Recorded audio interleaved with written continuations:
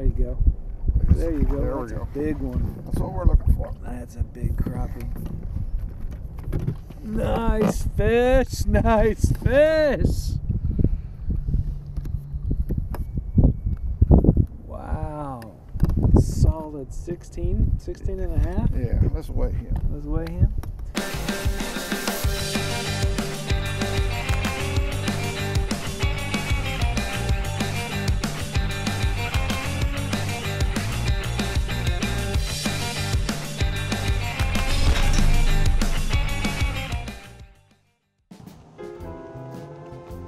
Charlie Bunting, Good morning. nice to meet you, man. Nice to meet you. Crappie Kirby, and uh, who's this we got with us? This is Dexter. He's my running partner. Hey Dexter, how's it going? So I got to meet you, uh, let's see, two years ago, and I was very excited to do that because you've got such a great reputation, and I know you run with some wild, uh, very popular characters like Mike Baker and, and, and the likes, am I right? Yes. And how long have you been doing the crappie fishing thing?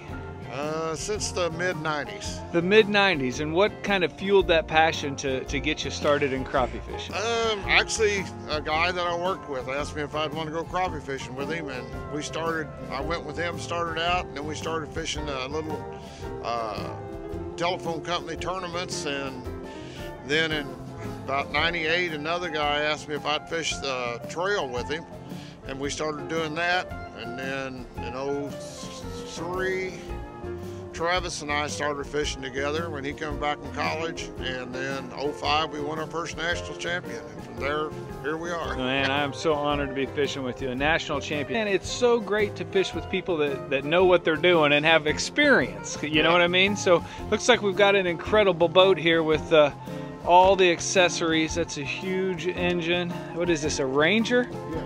Absolutely beautiful. And of course, uh, the staple of any good crappie fisherman on the planet is that Garmin Live Scope. How do you like that? I, I love my live scope. I'm, you know, forever. We cut cut our bread on uh, in 07 when they come out with uh, Humminbird side imaging. Uh-huh. Uh, we was the first ones to have that, so that really boosted us up as far as Travis knowing how to use it and operate it. We won a, we won, you know, we won a lot of tournaments in 07 to like 010 in those three to four years, and because of it. Well, now that the Garmin comes out, it's the next step level above that, and uh, it's been a learning curve for me. Our our uh, winnings has not been real good since 17 Yeah. uh, because of the people that are very good with live Who are fluent with it. Yeah. I'm uh, But the funny thing is, if you don't have that side imaging, you're almost kind of throwing darts in the dark to find those brush piles. It's kind of like finding a needle in a haystack. yes. Now I know that you know you can see you know trees that are above the surface, but I rely still heavily on my side imaging.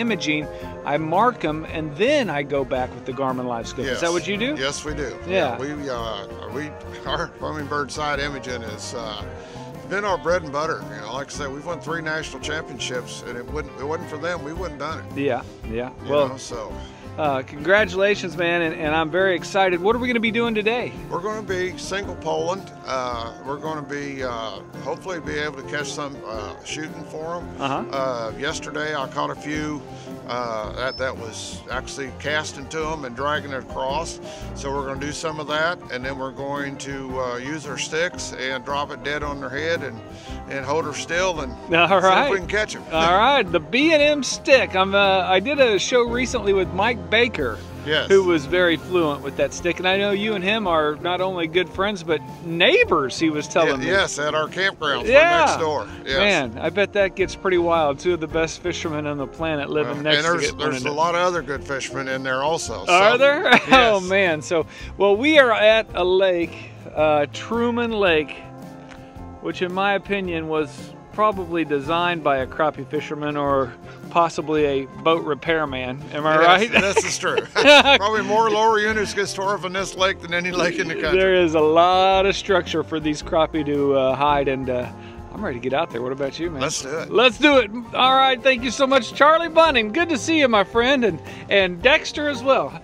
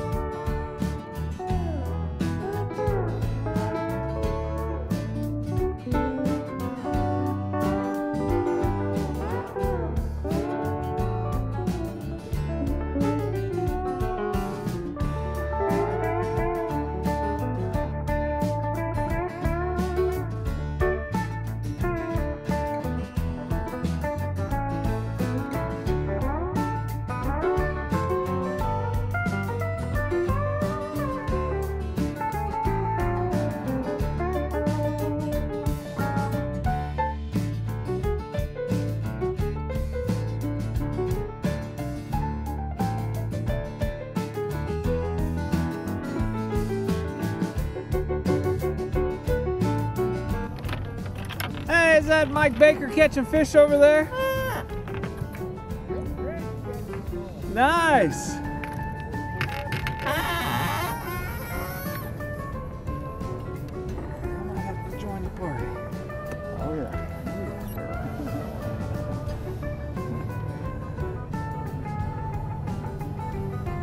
So Truman, obviously a, a, hot spot for crappie fishermen and a, friendly lake as well. Am I right?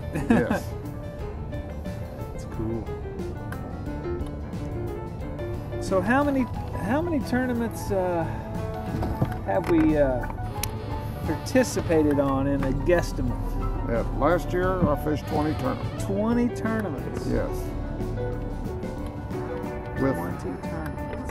With the Crappie Master, ACT, Yeah. and uh, Missouri State Crappie Master, Yeah. and then the uh, Truman Series.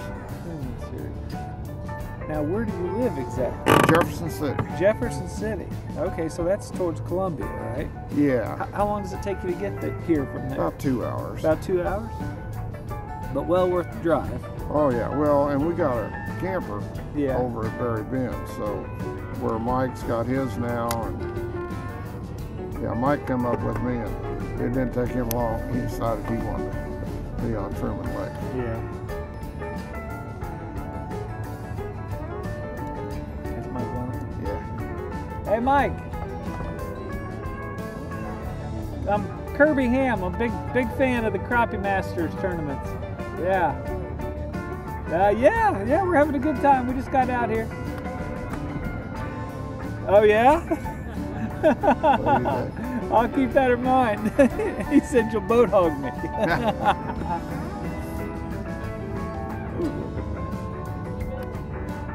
nice, nice.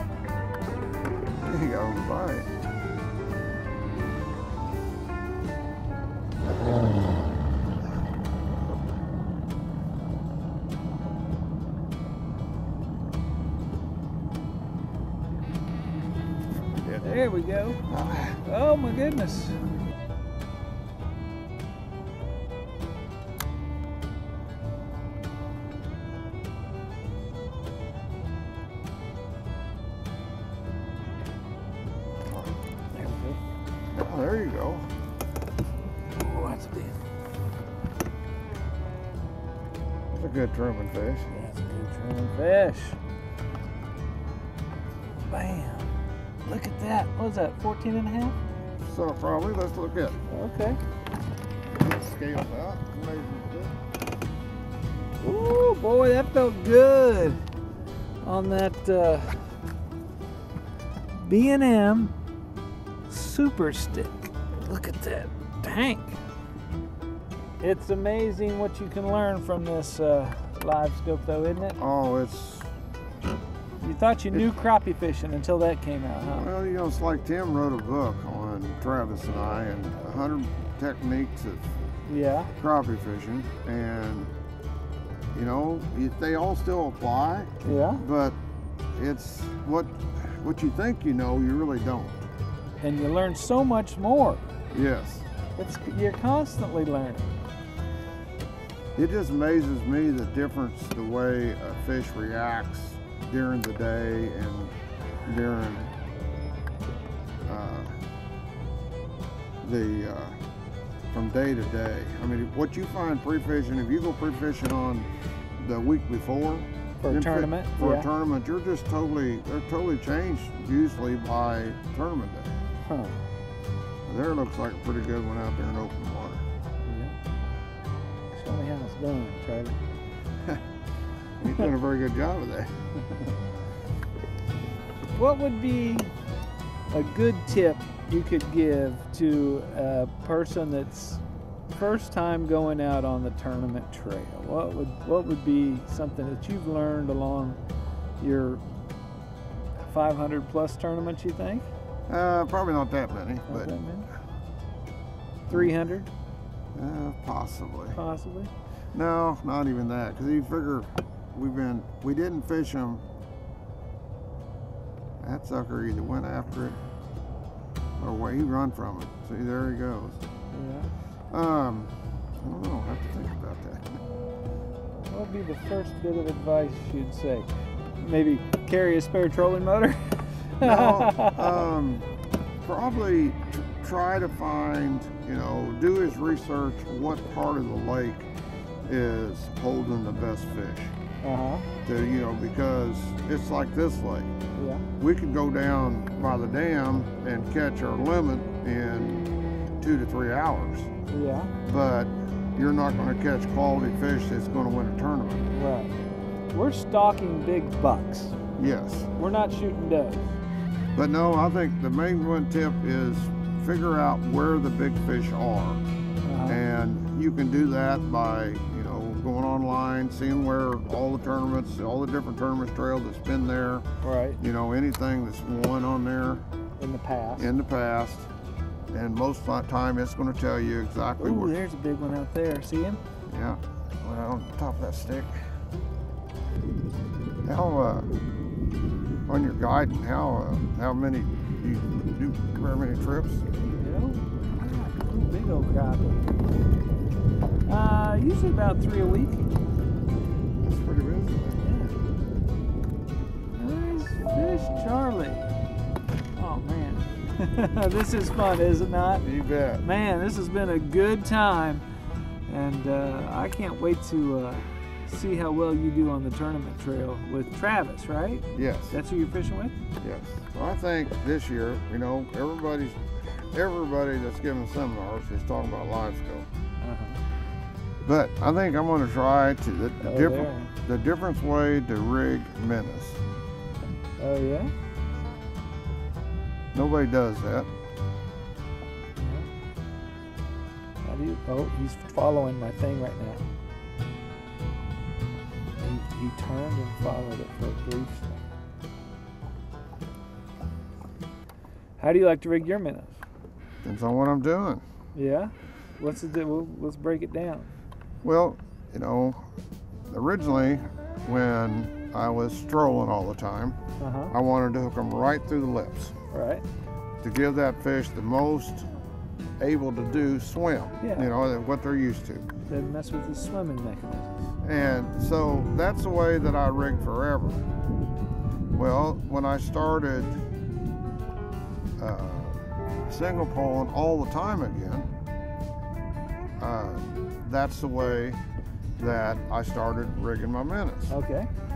Well, then I started uh, just sticking it through the head. Uh-huh. And so now I'll take these hooks, the these two aught hooks on the uh, Wacom series, and I string that minnow down through the body and come out by the tail. Yeah. And a dead minnow, throwing it out there like we're doing here, they're going to hit. They hit it just like a live minnow. Really.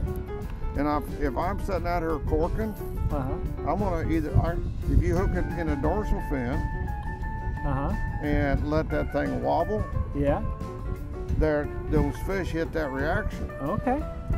So, you know, and all the way, and I've hooked them in the bottom where I turn them upside down, and it gives them another action. Oh yeah, because they're trying to turn themselves right side up. Right, exactly. So different techniques for rigging minnows at different times. Yes, Yeah. exactly.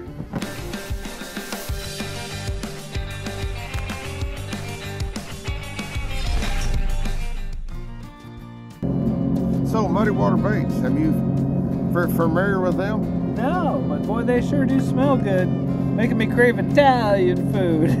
That's what is that? Garlic? Yes. Yeah. Well, that's my uh, son's business. Oh, okay. How many kids you got? Two. Two. Boy, girl, A boy. girl, boy. Yeah. And uh, How old are they now? ooh, Travis is 41 and Angie is 45. What do you think it is that drives us to do this? Is it just the spirit of competition? Is it uh, the the meat meat gatherer? You know, caveman instinct? What is it? You think? I think it's the competition. I mean, for me to be tournament fishing, you know, it's yeah. when I was young, I played basketball, I played, you know, traveling baseball, then I played softball, and now I fish. Yeah. You know, and, and to me, it's every day I can come out here and spend all day trying to catch fish, and it's the challenge to be able to catch them. Yeah. Now with Oh, look at it. I'm right on this one you right are. here. Oh, a little under.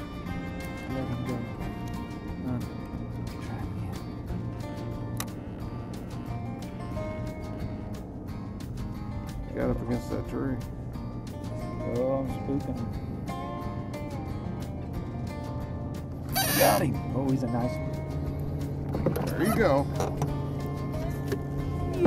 Oh, almost had him. Gotta learn how to do the stick. There we go. Teamwork, baby. Teamwork, baby. Not only on the stick, Yeah. you caught him on a muddy water bait on the Wacom Series head. Hey, look at you. You got the you got the lingo down. That's your son's company, right? Yes, and, Yeah. and him and I are together on the jig heads. Yeah. It, I think we're the only jig head out there that's got glow eyes on Okay. All right. And uh, Since you're the owner of the company, you probably give me a few of those. I can do it. Good fish. Good job. Thanks, man. Thanks. See, they're starting to bite. Now we're having fun now, baby. Yeah, see, yeah, that one, that one there was what I love. It. Oh, oh, oh, look at that one. There you go. Hold on, hold on. That's real close to it? It? It's 10 feet out. There you Oh, go. I gotta go a little further. Boy, for duck season, there's sure are not many ducks flying.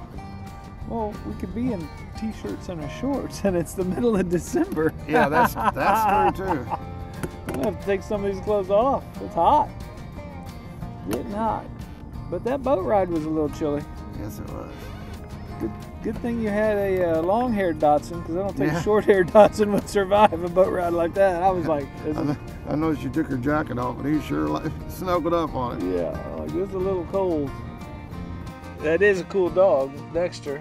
Yeah, there's a long story behind Dexter. Dexter, uh, we had a Chase was our dog that we had prior to, which actually become his daddy. And one of our neighbors down the campground liked uh, Chase so well that they wanted puppies out of him. So then we let him run loose all the time. So when their dog come in heat, Yeah. they uh, let it run loose, and they got so they told us later that you know Dexter was the daddy, it's going to be the litter of puppies. So I said, well, you know that the the male gets the pick of the litter, you know. So it uh, we laughed about it, and uh, uh, she the dog had the puppies. Well, it only had one.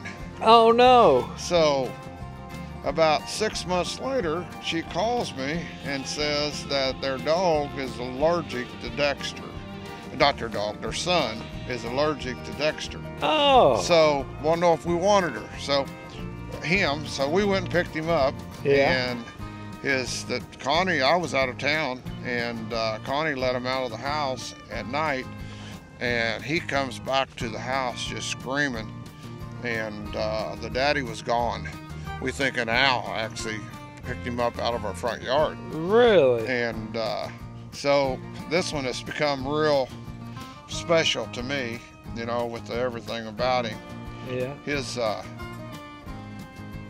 his daddy was would sit and lay up on the trolling motor Yeah. and watch my trolling rigs. Really? And people would tell Travis when he got there to fish, "Well, your dad's on big fish," because he would actually when the when the tip of that pole would go down, he Uh-huh. would bark. the dog would. And if it was a big fish, he just went crazy. Really? And uh, it was. you can't train a dog to do that. Oh no, but I mean, he would lay right there on the trolling motor the whole time that I was trolling. That's funny.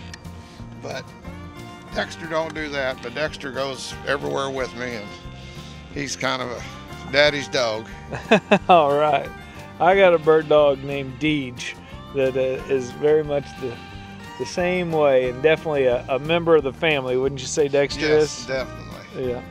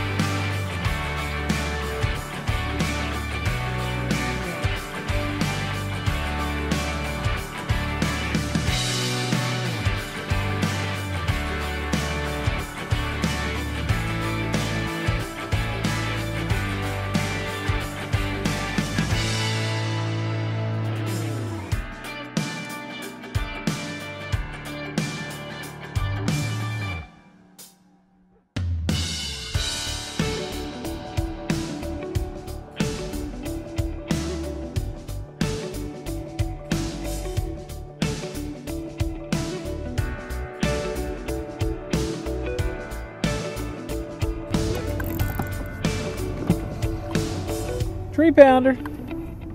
Yep. There he is. That's a nice one too. Nice fish. And there's three more, Charlie. I see him swimming around down in there. You see that? Yep. Good job.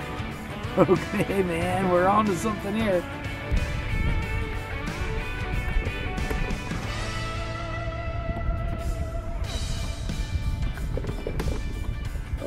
Coming on it. You Where got going? him. Oh, dude, that's another big one. Yeah, it was. That's what you call not setting the hook when he bites. Oh man! He took that jig and took it straight up. Yeah, that he was aggressive. Yes, he was. He was aggressive. That was a big one. That was another Yeah. 14, 15 inch crappie. I saw him. He got him to the water. We'll count. Say hi. Howdy from Truman Lake. Howdy from Truman Lake. Fishing with uh, Charlie Bunting and uh, another celebrity crappie man. Matt Rogers comes by and I uh, don't know about celebrity, but there's a lot of there's a lot of well-known fishermen out today. I've seen. we have ran into quite a few. We saw Mike Valentine, Mike Baker. Who else have we met so far? Uh, Billy Don Service, uh, Craig Hansen. I think that's it. Yeah, just an incredible friendly lake. I mean, they're sharing spots. They're talking about where they're biting, and uh, that's a real tip of the hat to Truman Lake, wouldn't you say? oh yeah. not every fishery is that way. Sometimes there's places that have, you know, real attitudes on the water and hey, you're fishing too close, that sort of stuff. But it seems like a real family structure going on over here. Yeah, just about everybody's really friendly. I ran into Kyler Beckman. He's a he's a guide here on the lake. Uh, I seen a guy named Noel Fernandez, which is a legend on the lake, and then another legend, which is Alan Morgan. They uh, they used to fish a lot of tournaments together, but they've they've gotten a little older and they've kind of retired out of fishing tournaments. But uh, just about every day you're gonna see Yeah. I, I know somebody that was from Southern Illinois that was over here a week ago, you know, and uh, they messaged me and asked me a few questions about the lake, and I, I told them, you know, some areas to try to focus on. The bite on the lakes eh, up here where we're at, where the bigger fish live, it's a little more finicky, but where uh, where the numbers are and where great size fish are, you know, the, the bites the bites great. Um, a lot of people fish out of Bucksaw this time of year. Uh, Bucksaw can be great, uh, but uh, you know you want to get away from the people instead of seeing them all. You can go to the Osage Arm, you might not see a soul. Yeah. Um, the Grand Arm is a really, really popular arm that uh, most of the people fish. There's uh, some really, really big fish that get caught on the uh, the Osage Arm though, and Yeah. the Pomme Arm's even really good.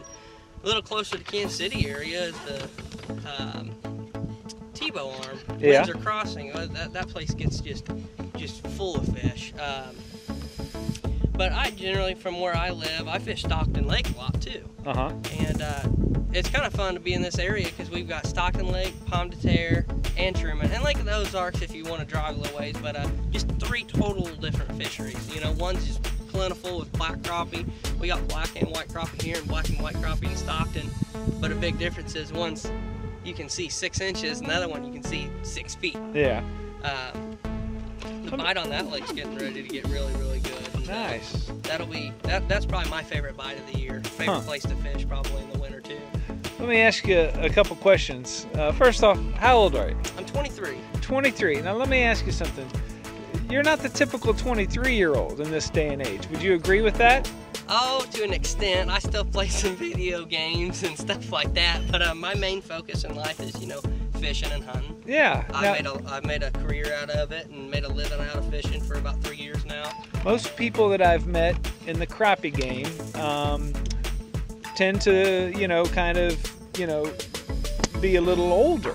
Yeah. But but now with the uh, technology catching up to where it is basically a video game, you're seeing younger and younger people entering uh, the sport of crappie fishing and just becoming ate up with it, as we Oh say. yeah, it's a it's a it's it's getting very popular. A big a big step in it will be when we decide people decide to start calling them sport fish instead of pan fish, and they're starting to be that way. You know, they're turning into a sport fish. It's it's uh, the tournaments are growing. There's more clubs starting and uh, more opportunity for people to get into it. Now, other electronic companies released similar stuff to what uh, Garmin had had out for a while, which was making it just crazy competitive. Yeah. So it's just going to get more competitive. and know? it's it's a little bit more uh, affordable of a of a you know fishing species. You know, bass sometimes lures are twenty five and thirty dollars. Oh yeah, that's that's cheap. I know Yeah. guys that throw seventy dollar crankbaits here on Truman and the stumps of all places. Oh goodness. Um, yeah, it's you know you can go to you don't have to have all the electronics either. You can go to you know a great place places. Everhart's here in Clinton, Missouri. You can go in there with a hundred dollar bill and you can get everything you need to catch crappie any time of the year. From the bank. You don't From even need a boat. Oh, yeah. I, I could I could take a ten places probably right now. I could take a, rod and go catch fish off the bank. Yeah. You know, that's just one of the things where you can make it work if you're gonna fish from the bank. Looking at mapping, it's the same scenario. You, you, you can find places to catch them. Um, Especially on a lake like this, it's so big. yeah. It's got so many creeks and stuff on it that you could try. You can you can try a lot of things. Um, we're, we live in a pretty diverse area. We got you know several different lakes. I know guys that catch fish off of the Yeah. bank on Pomme de Terre Lake all all year. How many uh, friends your age are ate up with it like you are? How many people do you know? I can think of out of the country and crappie fishing right now, which is growing, but I can think of about maybe 10, 10 Yeah. that are and they're around this area. Some are younger. Yeah, you're kind of a unicorn, and it's definitely a, a pleasure to meet you because uh, big fan. You got a lot of talent and a lot of fun times ahead of you. Yeah, yeah. I uh, I look forward to the 2021 season. I'm gonna fish several trails. I'm gonna fish the Crappie USA, several ACTs, and, and a lot of the a lot of all of them. I'm gonna try to make them all work if I can. Yeah. Well, good luck to you, man. You're gonna have a tough time beating this guy right here, Charlie Button. Charlie you Button's know? got a lot to go for you to beat that young man. well, definitely a lot of great camaraderie and respect between everybody here at Truman, which is such a, a wonderful thing uh, to help promote the sport of crappie fishing. So, Matt, such a pleasure to run into you today. Thank That you. is good to meet you, and Yeah. and shout out to all your viewers. Oh yeah, thank you, Keep man. 'em going. Yeah, we appreciate it, man. I saw you put another uh, video out recently. I did. Yeah. Just yesterday. Oh, I, I, I, I was busy trying to get all the batteries charged, so I didn't have a chance to watch it. But I'm gonna get on it. It's, uh, yeah, I was on Lake the other day. Yeah. Hey, I like that recipe. Yeah. Yeah. It, it tastes pretty good. It was so simple and so tasty. It, it was like restaurant grade. What about you, man? What's your favorite way to fry these fish or cook them? How do you like to eat them? I cheat. I use Andy's. Andy's? That's that's what Mike was using Yeah, that's that's the way we cook every, usually every Friday night. every Friday night. There you go. There you go. There we That's go. a big one. That's what we're looking for. That's a big crappie. Nice fish, nice fish. Wow. Solid 16, 16 and a half. Yeah, let's weigh him. That's the way him. Yeah, 191. Oh, 190. Oh, 191. Yeah, almost a two pound crappie. So, uh, I want to see how many inches that is. That's what we come for. That's a, that is a, that's a crappie that goes on a wall. What is that, 16 and a half? But look at the back and the belly on this fish. A beautiful Truman Lake crappie. And we're going to put him back in the water for we can have, he can make little ones and we can catch him again. Yes, sir.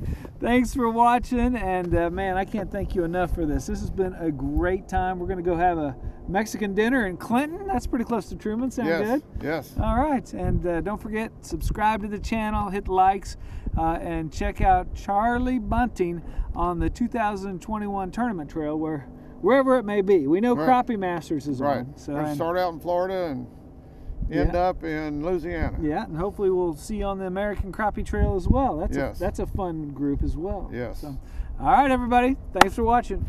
Thank you for watching this episode of Fish Eat Live. If you enjoyed this episode, please consider subscribing, hitting the bell, and giving us a thumbs up. And don't forget to check out all the products used in the video and leave your comments and questions in the description area below. A special thank you to our main sponsors B'nM Poles and Crappie Magnets.